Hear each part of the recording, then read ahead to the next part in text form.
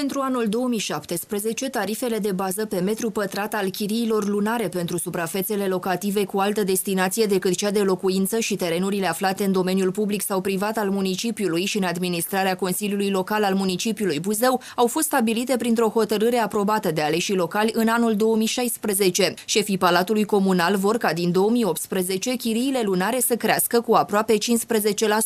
Vizate ar fi printre altele spațiile pentru activități comerciale sau pentru activități de panificație, cofetărie, tipografie și similare, spațiile pentru activități de comerț cu ridicata sau pentru activități social-culturale și sportive, spațiile pentru sediile și birouri administrative sau terenuri pentru garaje. Șefii Palatului Comunal spun că unele contracte trebuie refăcute și se va renegocia tariful chiriilor. Este tot așa o creștere de 10-15%, unele sunt extrem de mici.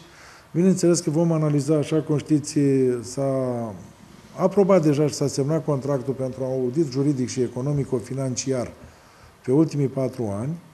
Uh, este o firmă de avocați din București care au și experți în uh, analiză economico-financiară și mai mult decât sigur vom negocia cu fiecare firmă în parte. Avem uh, peste în jur de 200 de contracte pe asocieri, pe concesiuni, pe închirieri, unele de-a dreptul rușinoase, pentru noi și mai majoritatea sunt încheiate în defavoarea primăriei, adică câștigă numai partea cealaltă. În urma solicitărilor venite din partea conducerii unităților de învățământ, municipalitatea își propune să introducă de anul viitor tarife noi pentru închirierea sălilor de sport din incintele acestora. Astfel, pentru închirierea sălilor cu o suprafață mai mică de 300 de metri pătrați, tariful este de 50 de lei pe oră, iar pentru închirierea sălilor cu o suprafață mai mare de 300 de metri pătrați se va plăti 100 de lei pe oră. Totodată, tariful pentru închirierea terenurilor aparținând domeniului public a fost propus la 0,008 lei metrul pătrat pe oră. Tarifele de bază ale acestor chirii au fost actualizate, urmând a fi aplicate începând cu 1 ianuarie 2018.